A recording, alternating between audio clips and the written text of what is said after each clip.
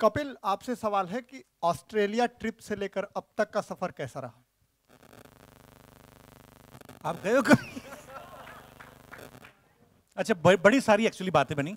आ, मैं भी बात करना चाहता था इस मुद्दे पे लेकिन आ, कुछ तो हुआ लेकिन बहुत कुछ दिखाया भी गया। हाँ जी? रुकिए रुकिए हेलो? आई थिंक मोबाइल है कुछ। मोबाइल मोबाइल सिग्नल है किसी का। एक्चुअली uh, आप सब बेहतर जानते हैं विद ड्यू रिस्पेक्ट बड़ी सारी चीज़ें आई। मैं जिन दिन ऑस्ट्रेलिया से वापस आया मैं एक्चुअली अपसेट था और मेरी एक प्रॉब्लम है। मैं I am not a god हर इंसान गलतियाँ करता है। मेरी एक प्रॉब्लम है जब मैं परेशान होता हूँ ना तो मैं थोड़ा आई एम फ्रॉम पंजाब ना तो थोड़ा बहुत ऐसे हो जाता है। तो मैं एक्चुअली अपसेट था बहुत सारी चीज़ों को लेकर जब आप एक इतनी बड़ी टीम लेके चलते हैं। तो बहुत सारी चीज़ें मैनेज करनी होती हैं और मैं बहुत ही बुरा हूँ इस मामले में, अपने आप को मैं कहता हूँ। हालाँकि टचवुड हम लोग बहुत सालों से साथ में काम कर रहे हैं और मैं एक बात फिर से कहना चाहूँगा कि सुनील के साथ मेरा झगड़ा हुआ ही नहीं था एक्चुअली आई लव हिम और मुझे बेस्ट लोगों के साथ काम करना अच्छा लगता है। मैं खुद सुनील को जब मैं कॉमेडी सर्कस करता था, तब मैं उनको बोलता था कि सुनील करके हसबली में मुझे मिले थे, उनको लेके आते हैं। एक मैं उनका वहाँ पे शो देखा तो मुझे अच्छे लगते हैं। बेस्ट लोगों के साथ काम करते हो, आप बहुत कुछ सीखते हो। तो सुनील के साथ मेरा कभी झगड़ा हुआ ही नहीं। चीज़ें ऐसी कुछ हो गई, मुझे, मैं इतना इरिटेट हो गया था कि शो मैं थोड़ा खुल के बता सकता हूँ? एक्चुअली मैं बताना चाहता हूँ कि ऑस्ट्रेलिया पहुँचते ही, पहले दिन से ही मेरा मूड बहुत ख़राब था। ऑस्ट्रेलिया निकलने से पहले भी बहुत सारी चीज़ें होती जब आप पचास कामों में हाथ डालते हो, जैसे हम लोग फ़िल्म शूट कर रहे थे तो फ़िल्म के दौरान हमारे एक आर्टिस्ट थे, उनकी डेथ हो गई। मान साहब thank you so much for coming that day और हमेशा मुझे पता नहीं कहाँ से, मैंने मान साहब को एक दिन पहले वैसे फ़ोन ट्राई कर रहा था कि हम चंडीगढ़ में आए हुए हैं, कहीं आप भी चंडीगढ़ में तो मिलते हैं। तो उस दिन मुलाकात नहीं हो पाई और हमारे एक आर्टिस्ट की डेथ हो गई। मेरे साथ रात को सीन कर रहे हैं एक और एक एक सीन था उनके साथ कि मैं उनके रजाई उठा के लेके जाता हूँ और छत पे जाता हूँ। तो रजाई उठा के लेके जाता हूँ, वहाँ पे कट पैकअप हो गया। अगले दिन मुझे छत पे करने वाला सीन करना था। तो उस अगले दिन उनकी डेथ हो गई। सो मुझे, मैं इतना नर्वस हो गया, इतना मैं नेगेटिव हो गया उस समय तो मान साहब के आने से बड़ी पॉजिटिव एनर्जी मिली।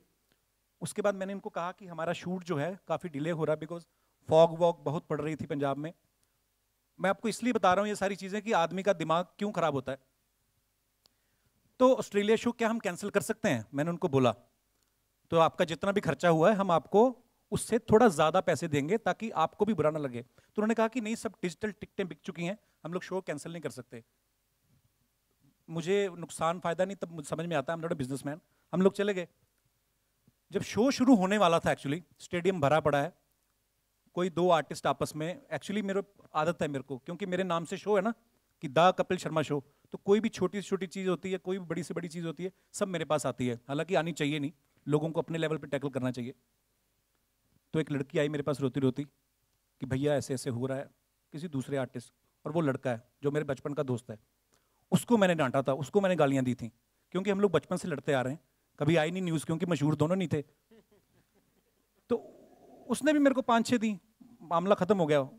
उसने उस लड़की के साथ परफॉर्म नहीं किया और क्योंकि शो शुरू करने से पहले, पाँच मिनट पहले की ये बात है। डेढ़ घंटा मुझे परफॉर्म करना था वहाँ पे, उसके बाद उनका दस दस मिनट का एक्ट था। मैं इस वजह से उनको डांटा कि अगर मैं डेढ़ घंटा परफॉर्म करना है, मुझे कूल रहने दो। तुम लोग मुझे क्यों ऐसे करते हो? मैं हूँ थोड़ा इम्पल्सिव क्योंकि मुझे आदत है। ये सब हुआ, शो बड़े अच्छे गए। उसके बाद चंदन जो मेरा दोस्त है, वो होटल से चेकआउट कर गया। पाँच दिन आया ही नहीं, हम लोग, मेरे को भी नहीं मिला। मुझे वरी भी था कि चलो मुझे मिले, मैं सॉरी बोलूँ बिकॉज़ मेरी गलती ये है कि मैं, क्योंकि मेरा बचपन का दोस्त है तो मैंने सेकंड साइड ऑफ़ स्टोरी सुनी नहीं। तो मैंने उसको गाली वालियाँ दे दी, जो भी। फिर वो मुझे मिला ही नहीं। फिर जब हम चंडीगढ़ ऑस्ट्रेलिया से वापस आने लगे, तब तक नहीं मुझे मिला। एक घंटा पहले वो आदमी मुझे नज़र आया। फिर मुझे और गुस्सा आया। फिर मैंने उसको पाँच गालियाँ और दी। उसने भी मुझे दी, उसकी आती नहीं है टीवी में। तो सुनील भी था, वो वर्ड भी था मेरे लिए कि ये ऐसे क्यों? पर एक्चुअली मैं आपको एक बात बताता हूँ, हम नौ साल से एक दूसरे को जानते हैं, मैं और सुनील, और पाँच साल से साथ में काम कर रहे हैं। अगर मैं एक्चुअली सुनील की जगह होता, मुझे खाली इतनी, मुझे वो शिकायत नहीं उससे, वो बहुत अच्छा आदमी, बहुत अच्छा आर्टिस्ट है, बहुत मुझे मेरा फेवरेट है शो में, शायद सबसे ज़्यादा प्यार मेरा उसी के साथ है। पर अगर मेरी जगह सुनील होता तो मैं एक बार जाके ज़रूर पूछता कि तुझे कभी पाँच सालों में ऐसे देखा नहीं मैंने? तो इतना वियर्ड बिहेव क्यों कर रहा है? तो शायद कुछ भी नहीं होता पर अभी भी कुछ नहीं हुआ। आई लव हिम और कहीं भी होगा सुनने का तो ज़रूर Sunil interview I love him Hi everybody, I'm Shahrukh Khan. Watch me only on facebook.com slash.